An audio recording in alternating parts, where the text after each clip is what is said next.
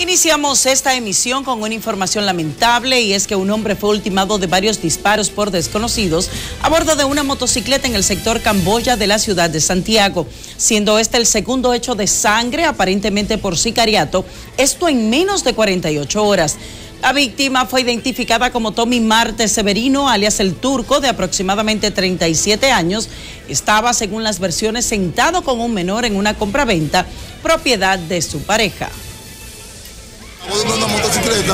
y, interrumpieron eh, el juego que tenía y le entraron a una persona tranquila, se dedicaba al trabajo, vendía su ropa, vendía su ropa junto con su esposa y su hijo. Incluso el mismo hijo de él estaba sentado con él.